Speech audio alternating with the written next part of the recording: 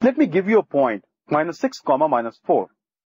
Now, if I ask you to plot this point on a Cartesian plane, can you do it? Let me help you. The first step is to draw the axis, x-axis and y-axis.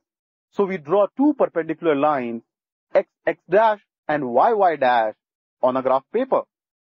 Now you see this point where they intersect? Well, that is O, the origin. Now we are ready. We still need to choose a scale. And how do we choose a scale? It has to be suitable, right? The point I'm talking about is minus 6 comma minus 4. So let me take uh, one unit as one centimeter. I think that should do the job. So let's mark all the points there. Now we come back to minus 6 comma minus 4. So first thing we do is we move 6 units on OX dash. Why OX dash and not OX? Because it is minus 6, right? So if it is minus, you move leftwards on the x-axis. And if it is plus, then you move towards OX. So here it is minus 6. So this is the point which is important. Let's mark it as M.